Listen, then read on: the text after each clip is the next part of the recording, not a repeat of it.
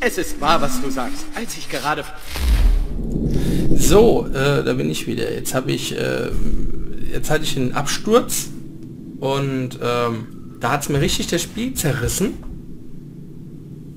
Und da habe ich auch die Aufnahme total platt gemacht. Und jetzt habe ich noch eine Stechmücke platt gemacht. Saufi! Und sie ist voller Blut. Das Mistvieh hat mich gestorben. Ich habe es immer mitgekriegt.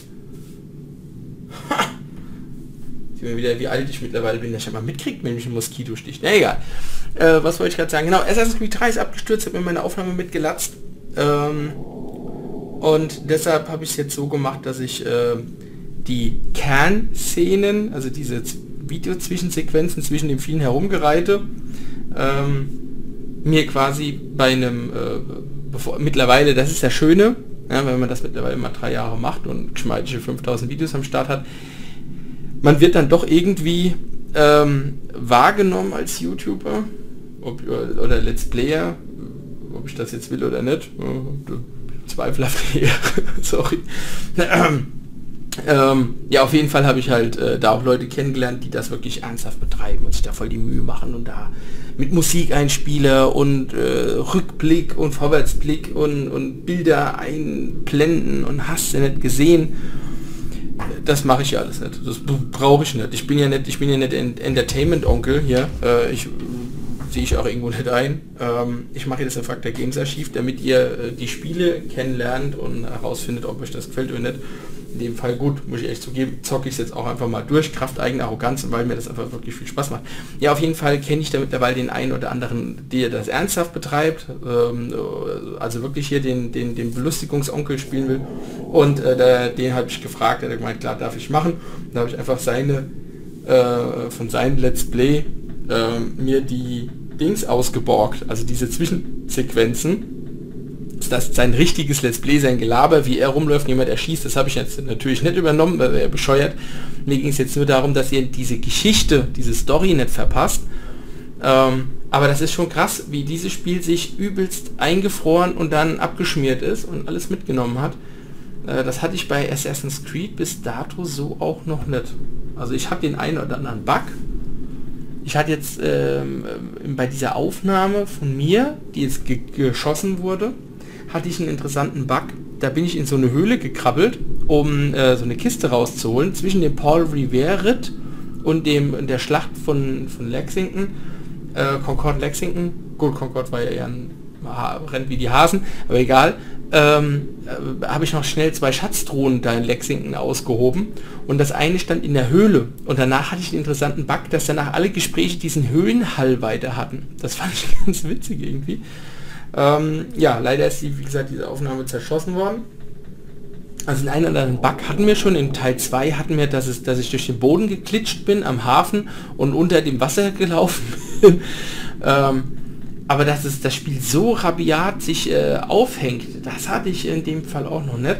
Wobei ich mir sagen lassen, lassen haben, haben, haben lassen, sagen. Ich habe mir sagen lassen, so, dass äh, hier der Tobi, ähm, ähm, der ab und zu mit dem Kronk zusammenspielt, ähm, zumindest habe ich äh, so das ähm, mal mitgekriegt. Ich habe mir nämlich von den beiden Spaßonkeln hier das Video angeschaut zu äh, wie hieß es nochmal 2D Pixel äh, Baggerspiel äh, Starbound und, und, und, da habe ich dieses Spiel mir, da hatte ich mir das Video von denen erstmal angeschaut, bevor ich mir das Spiel gekauft habe. Das war nicht mal so ein Spiel, das ich mir wirklich relativ früh im Early Access gegönnt habe ähm, und, und nicht gewartet habe, bis irgendwie Summer oder Winter Sale oder hast nicht gesehen Sale ist, ähm, weil das Spiel mich wirklich überzeugt hatte bei denen im Video. Und der hatte wohl bei seinem Assassin's Creed Spielen, also Assassin's Creed 3 Spielen auch häufiger mal einen Absturz. Ich bin mir bloß nicht ganz sicher, ob der das auf der Playstation gespielt hat oder am PC. Das weiß ich nicht genau. Egal, ist auch völlig irrelevant. So, ähm, wie gesagt, also ich habe jetzt diese, diesen Abschnitt, äh, den, den, die Fortsetzung, also ich hatte ja Paul Reverse Ritt im letzten Video von mir ähm, angefangen. Dann hatte ich ja diesen ulkigen Bug, dass der im, äh, irgendwie ertrunken ist. Ah nee, Quatsch, der, ich war abgesessen im Wasser und wollte dann über die Brücke laufen. Der Depp ist im Wasser stehen geblieben, ist halt hinterhergelaufen, dass das Spiel die synchronisiert hat. Das, manchmal ist das auch ein Bug, egal. Und ähm, äh, dann wurde ich an den, ans Ufer zurückgesetzt und dann habe ich die Aufnahme wieder gestartet. Bin dann mit ihm noch zu den zwei weiteren Häusern geritten. Ab diese Zwischensequenzen habe ich euch ja dann zusammengepackt zu, dem, zu diesem Video. Die sind jetzt quasi zwischen meinem eigentlichen letzten und diesem hier. Und äh, dann geht das ja schon weiter zu Concord und Lexington. Und dann, wie gesagt, habe ich euch jetzt einfach mal so zusammengestellt, dass ihr diese schönen Zwischensequenzen habt, diesen, diese Gefechtsszenen. Ähm, weil, das ist halt die Krux in der Sache, das ist halt wieder das Blöde, wenn man eine Konsolenportierung vor sich hat. Ich kann keinen früheren Speicherstand anwählen. Ich kann ja keine Speicherstände anlegen, ich kann nicht einfach wie in einem richtigen PC-Spiel sagen, naja, ist nicht so schlimm, ich lade jetzt einfach Speicherstand XY und das ist vor äh, Paul Reverse Ritt ähm, und dann mache ich das einfach nochmal. Nee, das Spiel macht automatische Speicherstände und nachdem das hier gecrashed war, während dieser, ähm, das ist ja gecrashed bei mir, während des Gelabers hier im ähm, ähm, angekommen war, äh, hier Kontinentalkongress, während der Washington am Schwätze ist, ist das Spiel abgestürzt. Da hatte das aber schon äh, irgendwie ein Safe Game angelegt oder, oder das war halt jetzt einfach der nächste Safe Game und dadurch konnte ich das nicht nochmal alles selber spielen. Das heißt, die einzige Möglichkeit für mich wäre, das euch zu zeigen, wenn ich das selbst machen wollte, dann, also wirklich komplett nochmal selbst, ich müsste das komplette Spiel nochmal von vorne anfangen. Und das sieht man mal wieder, wie beschissen das ist, wenn diese Konsolenspiele auf PC portiert werden und dieses Autosave-Gedöns äh, wird da gemacht. Ich kann halt einfach nicht, ich kann halt keine Speicherstände anlegen und nochmal machen. Ich kann immer nur ähm, sagen, okay, letzter Checkpoint und davor geht halt nichts. Und das ist halt echt einfach Kacke. Das will ich überhaupt nicht anders sagen, beschönigen. Deshalb bin ich, ich, deshalb mag ich das nicht. Wenn diese Spiele zuerst für eine Konsole gemacht werden und dann so mehr oder weniger lustlos auf den PC portiert werden. Egal, komm, wir spielen jetzt einfach weiter und hoffen, dass das Spiel jetzt einfach nicht nochmal abstürzt. Ähm, aber für mich, ich habe eine kleine Lehre daraus gezogen. Für mich, ich setze jetzt, ich tue jetzt häufig einfach mal die Aufnahme unterbrechen, dass wenn es wieder abkackt, das Spiel, ich zumindest nicht so, so einen langen Abschnitt verliere komplett, weil ja beim, bei, wenn dieses Spiel abstürzt, es zerschießt mir die komplette Aufnahme. Und wenn man da dreiviertel Stunde gespielt hat und, drei, und, und, und 45 Minuten sind einfach mal in der Tonne, äh, ich bin alt, ja, so viel Lebenszeit habe ich nicht mehr zu verschenken. Passen auseinander. Aber seit der Renovierung ist es nicht mehr morsch. Nun, eigentlich sind es die Deutschen von nebenan. Nette Leute, aber die furzen das ganze Treppenhaus voll. So viel Kohl, wie die immer fressen.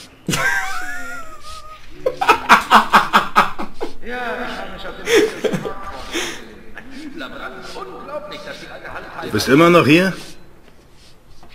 Ich frage mich nur, was geschieht jetzt?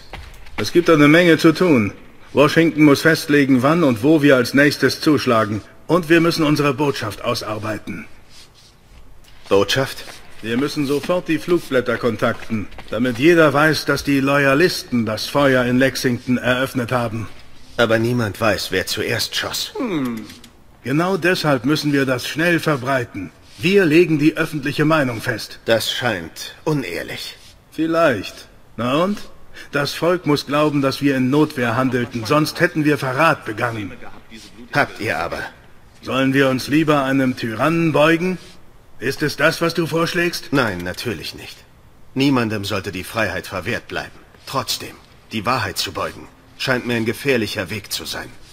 Verstehe, Connor, dass dieser Krieg nicht nur auf dem Schlachtfeld, sondern auch in Herzen und Köpfen geführt wird. Etwas Theater kann da nicht schaden. Vor allem, wenn es Leben rettet.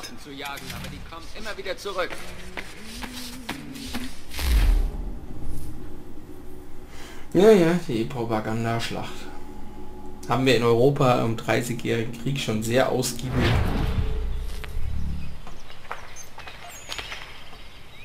So, wo bin ich denn überhaupt? Wo soll ich überhaupt hin?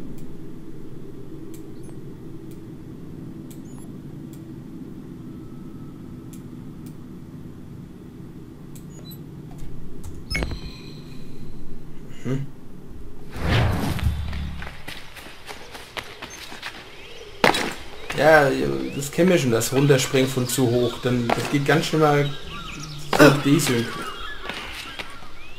Ja, das ist okay. Das schafft er.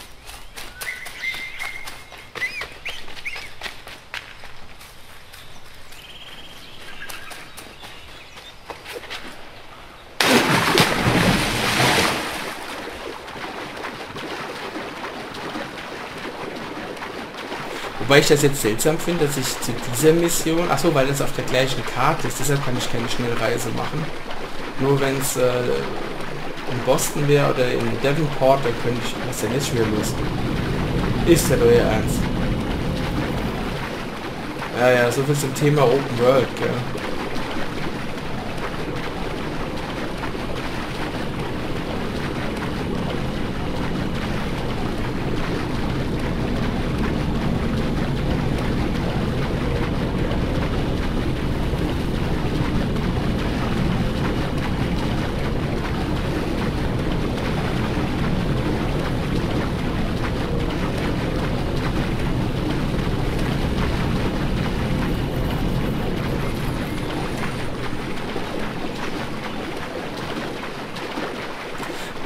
Was ich ganz witzig fand, wie ich mir die Videos angeschaut habe von dem hier dem Let's Player, äh, von dem ich diese Cutscenes aus äh, seinen Videos dann entnehmen durfte.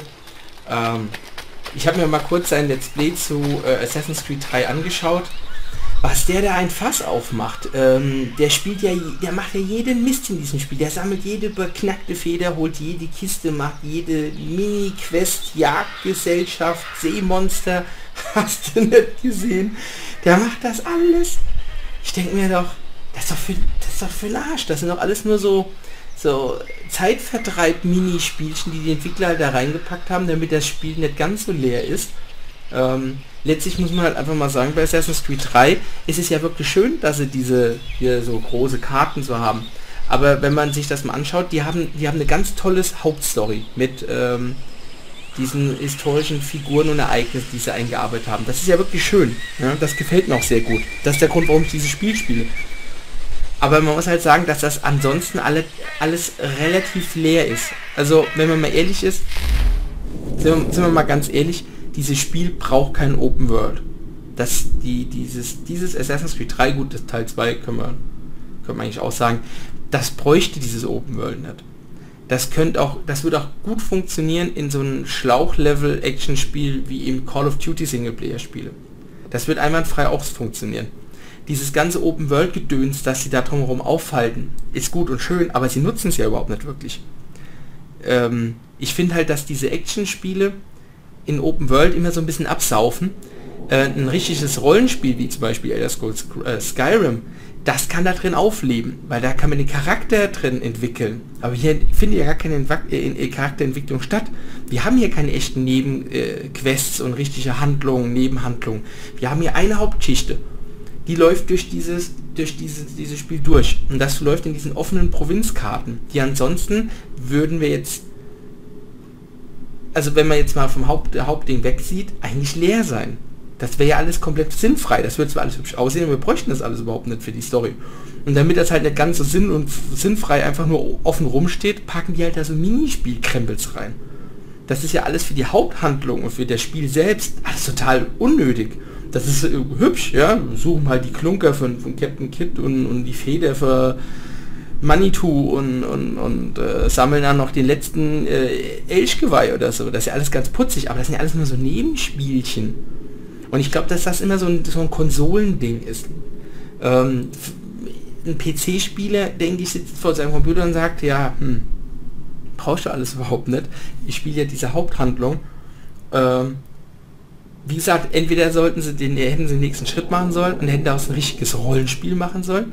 Das wird aber wiederum sich mit der Haupthandlung beißen. Oder was, was meiner Meinung nach hier viel besser passen würde, das ganze Spiel deutlich dichter machen ähm, wenn sie so ein, so ein, so ein Schlauchlevel-Ding draus machen würden, geskriptet, es ist ja so, so relativ stark geskriptet. Aber wenn man dann so ein Schlauchlevel-Ding machen würde, wie die, die Call of Duty Singleplayer, ich glaube, das würde dem ganzen Spiel eigentlich gut tun, weil es in, in massiv entschlackt würde. Weil dieser ganze Krempels drumherum, das ist ja niedlich, aber das braucht ja eigentlich kein Mensch. Das ist ja alles so Selbstzweck, die, die in der Haupthandlung keinerlei keine Relevanz entfalten. Halt! Was ist dein...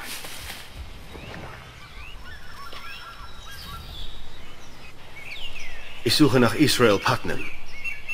Auf wessen Befehl? Samuel Adams.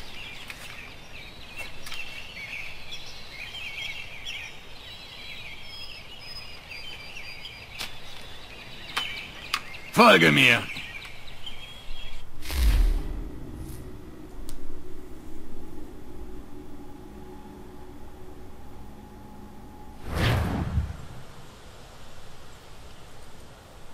Ist nicht Bunker Hill. Nein, es ist Breeds. Es gab einige Unstimmigkeiten, wo wir das Lager aufschlagen. Neuigkeiten aus Boston?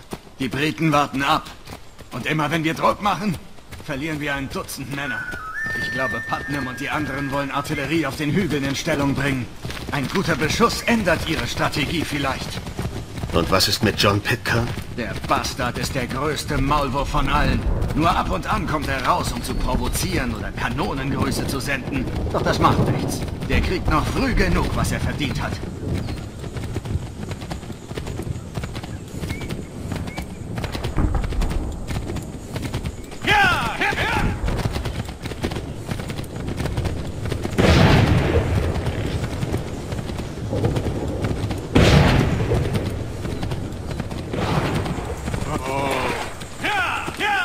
Putnam ist gleich da vorne. Kannst ihn nicht fassen. Ich gebe nicht auf Entschuldigung, Gentlemen. Wir sollten auf Bunker Hill bauen. Breeds ist näher an der Stadt, aber auch viel näher an ihrer Artillerie.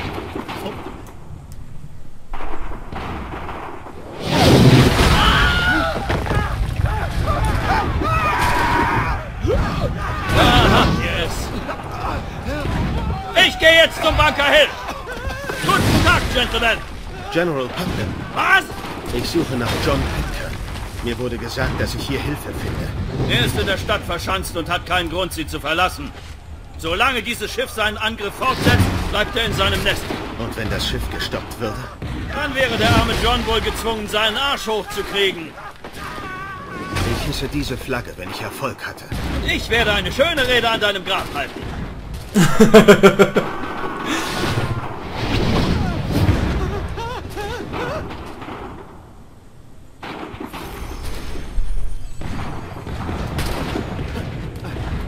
lustiges Sammelsurium von Geschützen, das ihr da habt.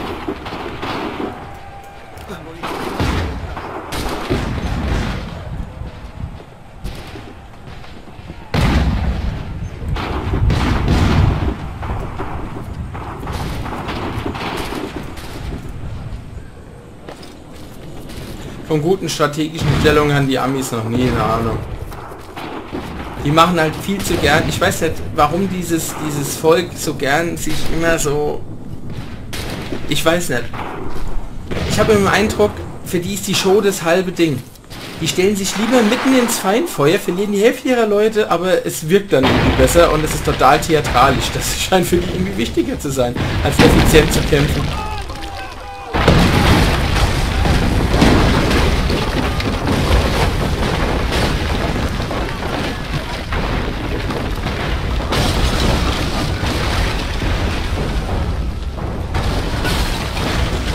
Ja, das kommt davon, wenn man eben alles aus Holz baut.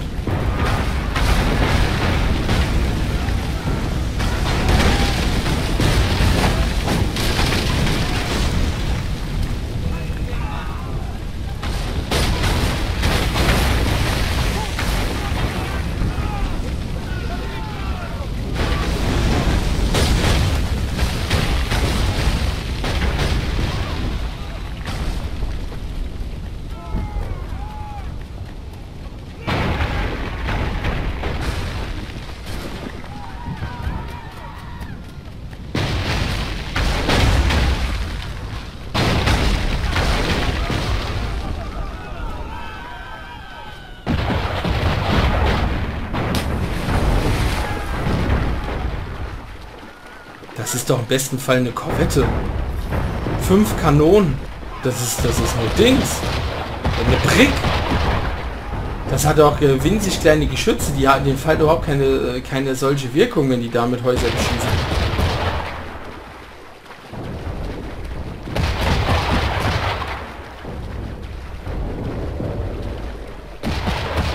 Zumindest müssen wir hier nicht schleichen, oder?